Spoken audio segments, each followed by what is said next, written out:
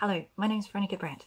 In this video, I want to address what the difference is between the traditional Latin Mass and the Novus Ordo, which, see, the traditional Latin Mass kind of grew up with Gregorian chant and they're kind of intertwined and they're really nicely fit together. So my argument was going to be that the traditional Latin Mass is pretty much the only way to sing Gregorian chant. It's its natural habitat for most of the Gregorian chant corpus that we have. But I was doing some research. It is possible to sing Gregorian chant in the Novus Ordo. It doesn't happen very often. I think that's safe to say. So let's see what the differences are. One of the main differences is right at the beginning. So for a Novus Ordo Mass, things are generally done one at a time. So we have the entrance hymn, which is often replaced by a, a um, vernacular hymn. But um, yeah, if you look in your missals, you'll see there's an entrance hymn line or entrance antiphon printed out, a small bit of scripture. So that's where entrance hymn, that's actually a longer, referring to a longer piece of Gregorian chant. Now, I think the mapping between what you see in your missal and what's in the graduale, that's another matter altogether. But anyway, so Novus Ordo Mass, you finish your introit, and then the priest will make the sign of the cross towards everyone and greet everybody. So there's that um, you have to wait for the hymn to finish before you can talk to everybody and then you can start talking to God.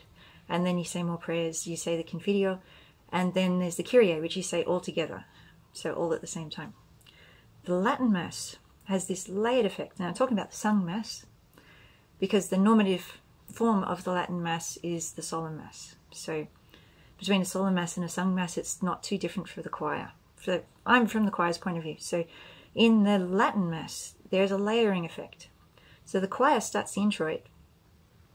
The priest and the servers kneel down and start making their sign of the cross while they're facing the altar.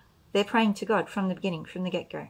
So the introit is still going while the priest makes the sign of the cross and starts a psalm, some um, the Confiteor type prayers, and some more prayers getting ready for this great sacrifice then he will actually say the Kyrie. So usually the choir will start the Kyrie when they finish their prayers at the foot of the altar and start going up the altar because there's there's steps. And that's part of the, the ceremonial, the traditional Latin Mass that kind of gets lost sometimes, depending on your architecture in the Novus Ordo Mass or even... Anyway, um, so at that going up, the choir knows that that's kind of the roughly the right spot to start singing the Kyrie. So you got this introit and Kyrie singing over the top of an awful lot of recited prayers, which the priest and the servers are taking care of. Also doing their incense and stuff like that. So that generally by the time the choirs finish the introit and the Kyrie, the priests have finished, and the priests and servers have finished their prayers, and there might be a little lag while we're catching up. We start the Gloria together, so the priest will intone the Gloria. So that's a, a nice way where you maximize how many prayers are going on, because while you sing the Kyrie and the Gloria, um, the introit and the Kyrie, a whole lot of other stuff is going on. As someone in the congregation, you can listen to the choir, you can follow what the priests and servers are doing by their actions. You don't actually have to hear their words explicitly. Most people have a missal, or yeah, you can.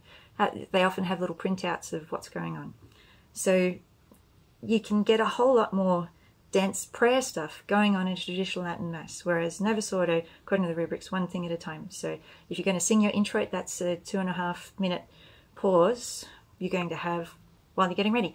Now, if your church is 100 meters long, you can be singing that introit while everyone processes slowly up the aisle.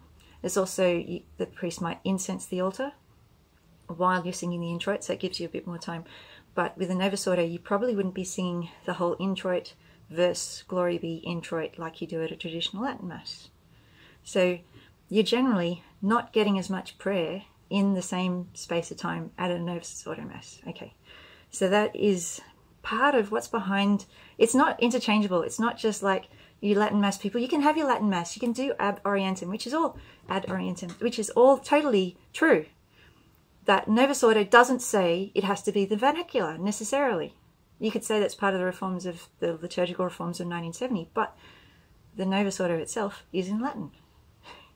So you can have Latin, you can have communion on the tongue, you can have the priest facing God, you can have all this stuff, but it's still not quite the same, not quite as beautifully linked together, and so so streamlined and so elegant. And so ancient. You find all these different historical bits about tiny little details which were invented by different saints.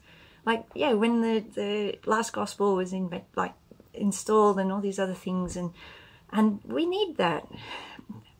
So although I am hoping to be obedient to whatever is decided, there is a valid thing here that the traditional Latin Mass offers something that's not there in a Novus Ordo. Also, the Novus Ordo, it's all optional. So even if you choose, you can have someone to choose all those most like the Latin Mass options, but um, who's, it's only by an act of the willpower of the people involved that that can be maintained. So yeah, you can still have all that splintering, the dissipation that you get normally. Okay, so I think that's my rant.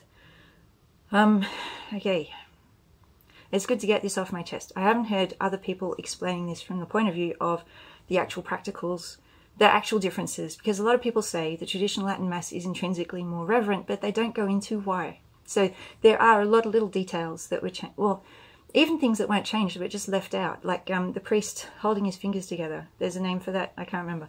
But I've seen Novus Ordo priests do that.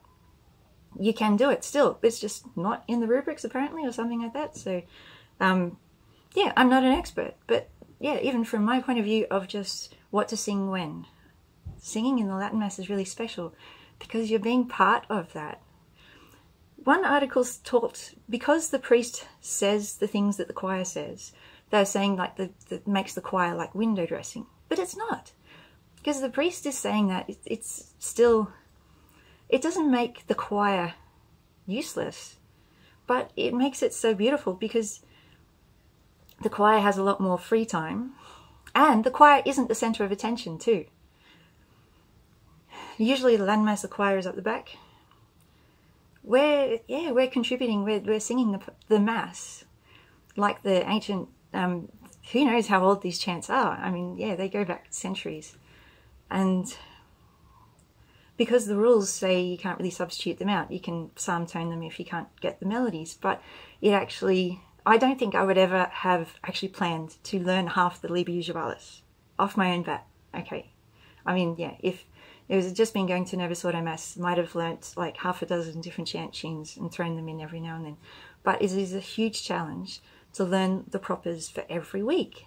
And that's amazing. And yeah, if you don't have that framework, if you don't sort of sign up for that, there's no sort of push to make you do that, to reach those high goals.